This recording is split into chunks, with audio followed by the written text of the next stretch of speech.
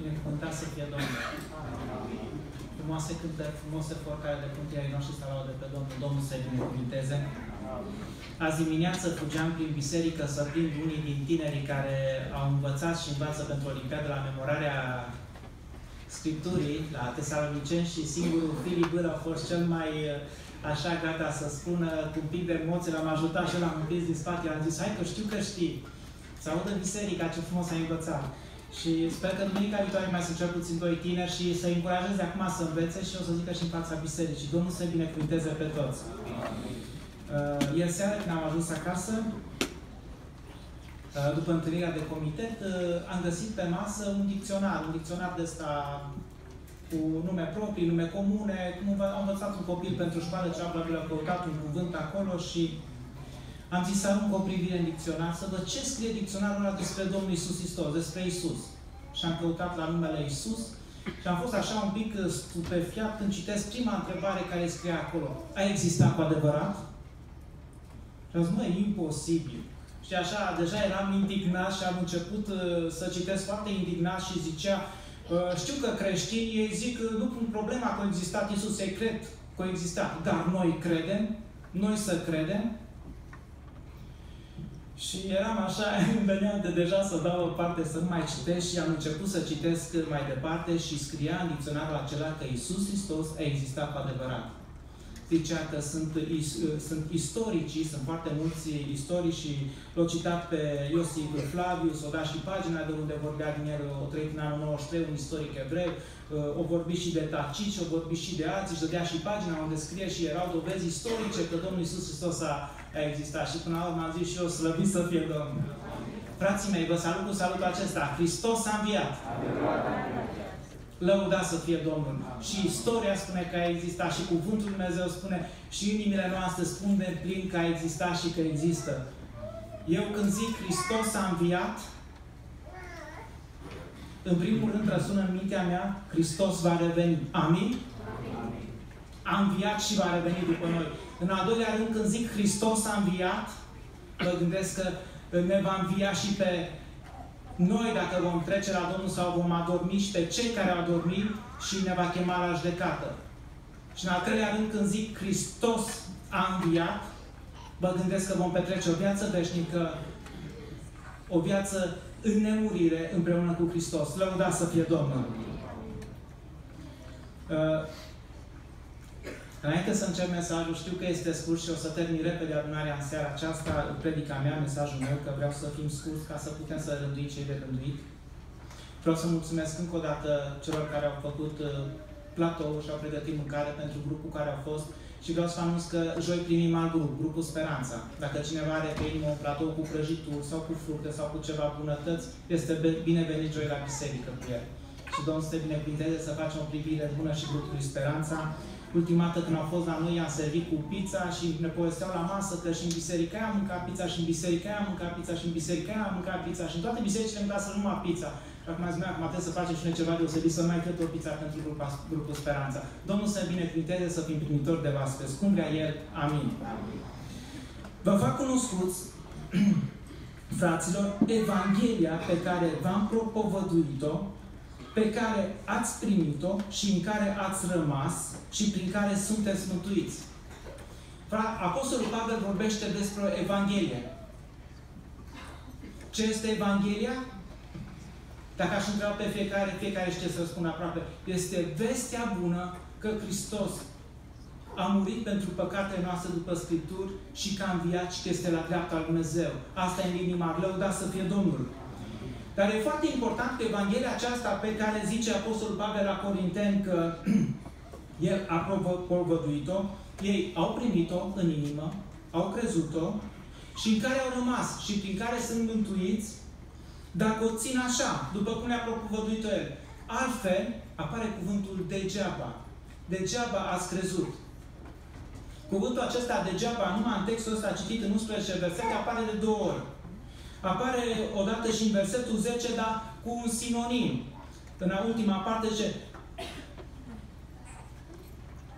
uh, uh, versetul 10, prin Dumnezeu uh, sunt sunt ce sunt. Prin Harul Dumnezeu față de mine n-a fost zadarnic și Harul Dumnezeu față de mine n-a fost zadarnic, n-a fost degeaba. Frații mei, am vrea să fim foarte atenți la cuvântul acesta degeaba. Evanghelia a fost propovăduită. Și nouă nu a fost propovăduită aici. Evanghelia se propovăduiește și în biserica asta și în multe alte biserici. Și Apostolul Pavel ne pune în gardă că Evanghelia aceasta poate să fie deformată. Poate să atingă numai un adevăr sau două adevăruri și pe al treilea să nu-l atingă deloc sau să-l ignore sau să îl spună dito, foarte deformat, distorsionat și atunci Evanghelia aceasta distorsionată să ajungă la cuvântul degeaba a scăzut. În uh, Galateni, nu sunt lung, o să citesc numai un verset, două, uh, se întâmplase o, să zic, aproape o catastrofă în biserica din Galatia, 1 cu 6 spune, mă mir că treceți așa de repede de la cel ce va chema prin Harul lui Hristos, că ei atenți, au fost chemați prin Harul lui Hristos, la o altă Evanghelie. Nu doar că este o altă Evanghelie, dar sunt unii oameni care vă turbe și voiesc să răstoarne Evanghelia lui Hristos. Și până la urmă spune despre ăștia să fie anatema. Lepădați de Hristos, depărtați de Hristos oamenii aceștia. Și aceea este foarte important. Noi să știm ce credem. Pentru că, în primul rând, este vorba de o Evanghelie doctrinară și, în al doilea rând, este vorba de o Evanghelie trăită. Amândouă sunt importante. În primul degeaba, care l-am citit aici, spune și sunteți mântuiți dacă o țineți așa după cum v-am propovăduit-o. Altfel degeaba ați crezut. E vorba de Evanghelie doctrinară. Pentru că oamenii au tendința și au avut tendința și și noi toți avem tendința pe lângă legea lui Dumnezeu să punem noi poruncile noastre. Să punem noi anumite, anumite poveri, să zic, peste frați. Să părem noi mai spiritual ca alte biserici. Să părem noi mai credincioși, mai devotați, mai consacrați. Uh, în uh, Matei, capitolul 15 cu 9, David, Domnul Iisus Hristos îi mustră pe farisei pentru că zi, zice despre ei, degeaba mă cinstesc ei, fiți atenți cuvântul degeaba, învățând ca învățături niște porunci omenești. Nu ajută la nimic poruncile omenești. Poate că zici, e așa de important să, să, să, să trăim în smerenie. Foarte important.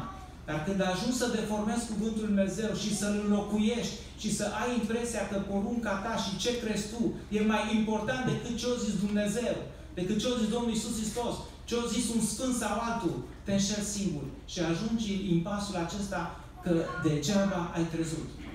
De aceea, pentru fiecare dintre noi, ce este important? Luați Biblia în mână, citiți-o, rugați-vă Domnului să vă dea înțelepciune, să vă deschidă ochii minții și să înțelegeți Evanghelia aceasta, ca să o trăim și să avem parte de ea. Amin? Și acum, ce este Evanghelia? Pavel aici zice mai departe în linii foarte mari. Evanghelia pe care a propovăduit-o el. Evanghelia pe care spune că el a învățat-o de la alții și în altă parte spune că a primit-o prin descoperire duhovnicească. Zice versetul 3. V-am învățat înainte de toate așa cum am primit și eu. Primul lucru. Hristos a murit pentru păcatele noastre după Scripturi. Amin? Amin. Ăsta e primul punct din Evanghelie și noi trebuie să știm. Pentru păcatele noastre a murit Hristos după Scripturi.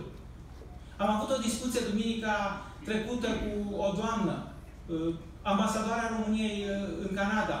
Și zicea, nu pot să înțeleg cum ziceți voi că pentru uh, că, că faptele nu sunt bune și că nu suntem mântuiți prin fapte și de ce, de ce voi atât de mult ziceți că numai așa? Și am avut o discuție de aproape două ore cu ea ca să, să o ajut să înțeleagă că faptele noastre care le facem nu sunt ca să fim mântuiți. Și am dat dovezi și argumente din biblice. Facem fapte bune că suntem mântuiți. Și dacă suntem mântuiți, suntem numai prin Harul lui Dumnezeu și că Hristos a murit pentru noi. Fapte bune toți trebuie să facem. Suntem datori și sunt rânduite să le facem. Nici nu discutăm să nu facem fapte bune. Nici nu se pune problema. Problema se pune că, zice, în primul rând, Hristos a murit pentru păcatele noastre după Scripturi. În al doilea rând, zice, a fost îngropat și a înviat a treia zi după Scripturi. Amin? Amin. De ce a înviat Domnul Iisus Hristos? s-a citat aici, nu mai citesc, mai căutăm în Biblie, din pricină zice cuvântul Domnului că noi am fost socotiți neprionit. Dumnezeu a primit moartea Lui înlocuitoare ca noi să putem să trăim prin El, ca El să învieze și noi să avem viață prin El. Slăvit să fie Domnul! Ce s-a întâmplat după înviere? Că a fost îngropat și a înviat a treia după Scripturi și că s-a arătat lui Chifa apoi celor 12. El menționează aici doar uh, în primul rând două arătări. Lui Chifa celor 12. Vă întreb cui s-a arătat Domnul Iisus prima dată? Deci, Mariei Magdalenei. Apoi se pare că s-a arătat lui Chifa. Nu găsim clar în Biblie când s-a arătat lui Chifa. Apare când s-au întors cei doi ucenici de pe drumul Emausului și ucenicii spun s-a arătat lui Simon, lui Chifa, lui Petru, s-a arătat Domnul Petru. Și mi-am pus întrebarea. Și fiți atenți. De ce s-a arătat în primul rând Mariei Magdalene? În al doilea rând lui Petru. Și apoi tuturor ucenicilor. Frații mei, ce am înțeles eu și cugetajul noastră, la cei mai zdrobiți s-a arătat Domnul prima dată. La cei care au au suferit cel mai mult. Toți au suferit. Dar Maria, după ce s-a uitat în mormânt, a văzut că mormântul e gol, în disperarea Iisus s-a spus la ucenici, a venit Petru, s-a uitat, a plecat și el. I-a rămas acolo în grădină și plângea. Și atât o plâns și când s-a arătat Domnul Iisus și plânse, unde l-ai pus? El vrea pe Domnul și de aia s-a arătat. De aceea vă zic, căutați-l și veți găsi. Și lui Petru, Oh, ce ruptură a fost în sufletul lui când Domnul a murit. Și lepădarea lui și toate, și păcatul lui. De a s-a arătat după aia lui Petru și apoi celălalt. De aceea, care e îndemnul aici? Și cugetarea. Căutați-l pe Domnul și îl veți găsi. Amin. Deci după aceea și trece la, aproape să zic, la ultima arătare, mare arătare de pe muntele Măslinilor, s-a arătat la peste 500 de frați deodată. dintre care cei mai mulți sunt încă în viață, iar unii au adormit, au uh, adormit adică au trecut la Domnul sau au murit. Argumentul pe care îl folosește aici Apostolul Pavel vorbește ce Hristos după ce s-a înviat s-a arătat la oameni de încredere. S-a arătat lui Chifa, celor 12 și la peste 500 de frați. Este vorba de o mărturie istorică.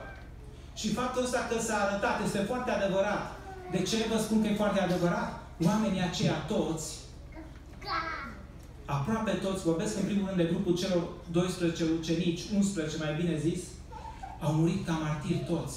Dacă ar fi fost o, ceva iscodit în mintea lor, sau o poveste inventată, sau ar fi furat trupul sau așa, n-ar fi murit ca martiri pentru o minciună. Nu, n-avea rost. Au murit ca martiri, în afară de Ioan, de fapt, care a trăit și a murit de bătrânețe. În rest, majoritatea l-au slujit pe Domnul cu prețul vieții și asta e o dovadă a învierii. Lăudați să fie Domnul! În urmă s-a arătat lui Iacov, apoi tuturor apostolilor. Vorbește de încă două arătări. Lui Iacov, era vorba probabil de Iacov, fratele Domnului Isus. Și apoi trec la versetul 8. După ei toți, ca unei stârpituri, mi se arătat și mie. Apostolul Pavel vorbește despre întâlnirea lui personală cu Domnul Isus Hristos. Acum, observați termenul care îl folosește el. Ca unei stârpituri. Ce este o stârpitură? Este un copil născut deformat. Este un copil a forma, este un copil nenorocit, să zic așa. Sau un animal nenorocit. De ce se folosește Pavel acest termen? Și acum, dacă ar fi numai versetul acesta s-ar opri aici și te-aș întreba pe tine, cum te vezi tu?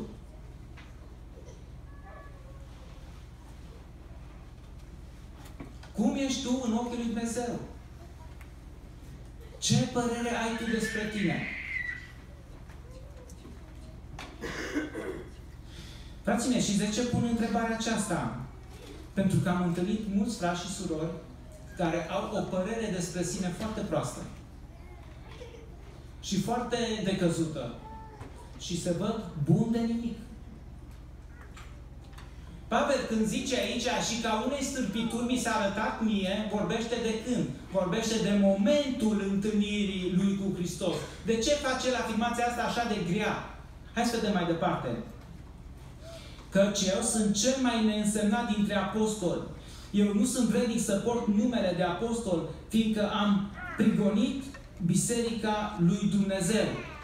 De ce se folosește acest termen greu? El a prigonit Biserica lui Dumnezeu. Nu citesc acum, vreau să citesc din fapte apostol, când Ștefan, primul martir, a fost omorât. El își punea hainele la picioarele acolo, el, el păzea hainele la, la celor care aruncau cu pietre și omorau pe Ștefan. El era acolo. După aia el a avut scrisori și scrie, am, când face mărturie în fața iudeilor care au prins și să bage în închisoare, eu, eu am legat pe frați, i-am trăit în închisori și pe surori. Și zicea ce, ce, ce a făcut el și pleca la Damasc atunci când s-a arătat Domnul cu scrisori de puternicie să facă aceleași lucruri. De ea se numește așa. Pentru că a prigonit Biserica lui Dumnezeu. Dar fiți atenți! Cum se vedea pe Pavel în momentul actual când scria scrisoarea? Se mai vedea tot o stârpitură? E foarte important să înțelegem lucrul acesta. Zice, prin Harul lui Dumnezeu sunt ce sunt. Ce era? Ziceți dumneavoastră, era apostol sau nu? Apostol, trimis al lui Hristos, lăudat să fie Domnul. Și Harul lui față de mine n-a fost zadarnic sau n-a fost degeaba. de vă spun, este doctrinar și este practic. Dumnezeu ți-a dat har, te-a chemat la mântuire, ți-a vorbit, te-a mântuit, la, te-a născut prin Duhul Sfânt, dar ai niște pretenții ca Harul lui Dumnezeu în tine și mine să nu fie degeaba, să nu fie zadarnic. Zice, ba, încă am lucrat mai mult decât toți.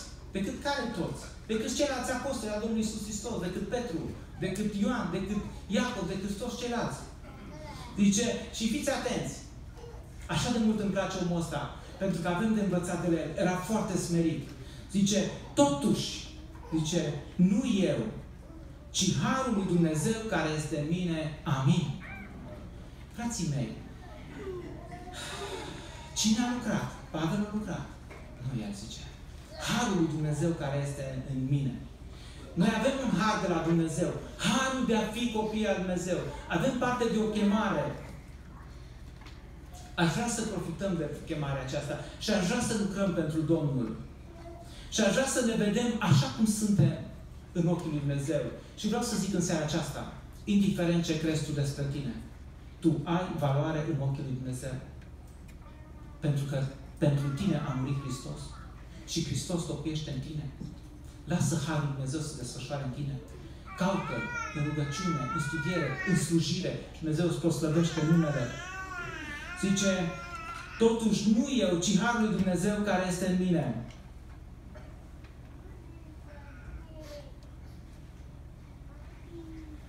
Mi-am notat trei lucruri, dar nu o să mai uh, vorbesc uh, despre ele cu lui Dumnezeu. Aș fi vrut să vorbesc despre har, în primul rând, doctrinar, experimental și partea practică.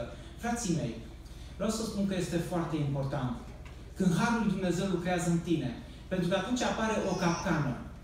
Mă aleg mă un pic de aspectul practic. Apare o capcană când Harul lui Dumnezeu lucrează în tine. Să te mândri, să devii mândru. Și să zici, eu, Ruth, eu mă scol la două noapte, în fiecare noapte eu mă rog, tu nu. Și atunci apare un pic de orgoliu. Ruth nu se scol la două noapte, eu mă scol. Uh, frate Cornel, știi, eu sunt un pic mai bun decât tine, că eu am ajuns mața la rugăciune și tu n-ai ajuns. Și apare orgoliu și mândria în mine. Și știți ce asta? În, unde merge mândria asta și orgoliu? Înaintea căderii. Așa este. De aceea când Domnul îmi dă har, prin mine se folosește Domnul să facă o faptă bună. Se folosește Domnul de mine ca să mă rog pentru popor, pentru biserică, pentru tine. Eu nu trebuie să mă văd super, superior fraților mei. Eu nu trebuie să mă văd cine sunt eu. Ce trebuie să văd eu este doar că Dumnezeu mi-a dat har. Dar eu te întreb pe tine, sau mă întreb pe mine, dacă Dumnezeu mie nu-mi dă har, nu-mi dă har. Și chiar dacă fac eu prin forțele mele proprii cât fac în lume, dar fac și nu mai pot și pic ce de mine? Nu-i nimica. De aceea, frații mei, tot să ne îndreptăm ochii numai spre Harul Dumnezeu și Dumnezeu să fie proslăvit în viețile noastre. Amin. Amin.